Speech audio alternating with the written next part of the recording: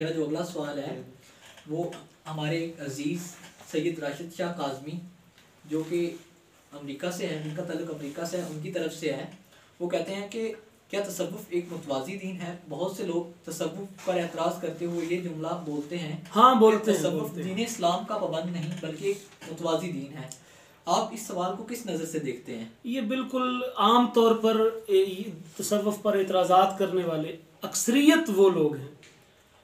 जिन्हें मैंने देखा है या जिन्हें मैंने कम अज़ कम सुना है ये वो लोग हैं जो खुद बिल्कुल तसवफ़ से आ रही हैं। इंसाफ का तकाजा ये है कि आप जब किसी इलम पर तनकीद करते हैं तो कम अज़ कम आपको उस इलम के तमाम खदोखाल का पता होना चाहिए। बिल्कुल ऐसे ही है।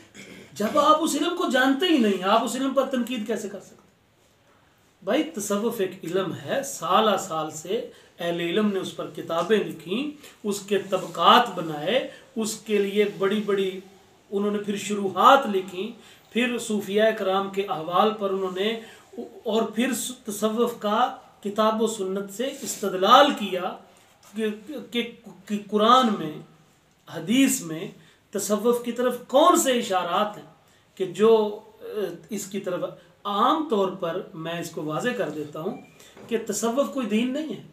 तसव्वुफ असल में एक गलबा इबादत का नाम है। एक गलबा जोहद का नाम है। एक इस हद तक कि मैं आपको एक छोटी सी मिसाल से समझाता हूँ कि अल्लाह के रसूल सल्लल्लाहु अलैहि वसल्लम की जो एक हदीस पाक है जिसको हदीस जिब्रील कहते हैं। हज़रत जिब्राइल आए उन्होंने आपसे इस्लाम के बारे में पूछा कि मल इस्लाम कि अल्लाह के रसूल इस्लाम क्या है? तो आपने इस्लाम का जवाब दिया। फरमाया ये ये चीज़ ईमान है इस्लाम है। फिर कहा कि मल ईमान अल्लाह के रसूल बताएँ ईमान क्या है? कि भाई आपने फरमाया भाई ये ये चीज़ें ईमान है।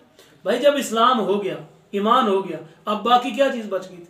कुछ चीज़ बच गई थी? अब सारी चीज़ हो गई। लेकिन फिर उन्होंने तीसरा सवाल किया। कहा अल्लाह के रसूल कि मल एहसान एहसान क्या है? एहसान क्या है? तो अल्लाह के रसूल ने फरमाया अन तबुदल्लाह का अन्ना का तराहू व इल्लम तकुन तराहू फ़इन्नहु यराक। आपने फरमाया भी सुनो कि अल्लाह की इबादत ऐसे करो कि जैसे गोया तुम उसे देख रहे हो और अगर ऐसे नहीं कर सकते तो कम अज कम यूँ करो कि गोया वो तुम्हें देख देख रहा है। तो ये जो दर्जा है कि अल्लाह ताला की इबादत ऐसे करो कि जैसे तुम उसे देख रहे देख रहे हो ठीक है? ये क्या है? ये मुकाम मुशाहिदा है कि अगर अल्लाह ताला बंदे को इतनी रूहानी पाकिजगी दे दे वो इस तरह इबादत करे कि गोया खुदा ताला को देख रहा है। ये मुकाम मुशाहिदा है। और अगर फरमाया ऐसे नहीं कर सकते तो फिर यही सोचो कि वो तो तुम्हें देख रहा है। ये क्या है? ये मुराकबा है। ये मेडिटेशन है कि तुम इस तरह समझो, अपने आप में तस्वर करो कि तुम्हें खुदा देख रहा है। तो ये मेडिटेशन है। तो असल में तसव्वुफ की सारी बुनियाद जो है, वो इस हदीस पाक पर और फिर साहबा कराम के हमें वो वाक़ात मिलते कि जिसमें वो कसरत से इबादत करते थे, जिसमें वो बड़े इनहमात के साथ इबादत करते थे, जिसमें वो कभी कभी खलवत नशीन भी हो जाया करते थे।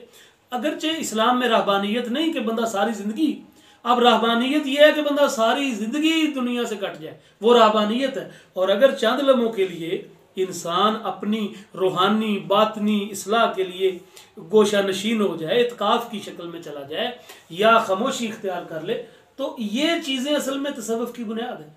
जिस तरह मैं आपको एक बात बता दूँ ना, एक बड़े अच्छे सूफी ने तो बड़ी प्यारी बात की। उसने कहा कि खुर्दन कम खुफ्तन कम, गुफ्तन कम। भाई ये सारा तसव्वुफ है। कम खाना, कम बोलना और कम सोना, ये सारे तसव्वुफ की बुनियाद तसव्वुफ के इशारात आपको दीन इस्लाम में जा बजा मिलते हैं। और बल्कि मैं आपको बताऊँ कि कशफुल माजूब में शेख अली हजवेरी रहमहुल्लाह उन्होंने एक बड़ी प्यारी बात की। उन्होंने कहा कि भाई, बात यह है कि अगर तो आप सहाबा, ताबईन के दौर में तसव्वुफ का लफ्ज़ ढूंढे तो वो आपको नहीं मिलेगा। लेकिन तसव्वुफ की जो असल रूह है, वो वहाँ पे मौजूद थी।